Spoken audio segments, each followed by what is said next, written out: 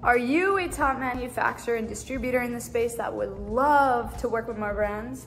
Now is your chance at the MJ BizCon Manufacturing Distribution Pavilion in partnership with MITA, our association.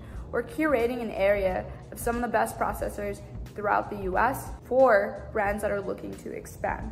So let's say I have Rita's Edibles and I would love to take it to California, New Jersey, Maine.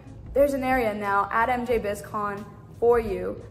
It will be right by the Weedmaps area where they'll be hosting some of the top brands in the space. And it'll be also close to the bar area, the networking elevation lounge.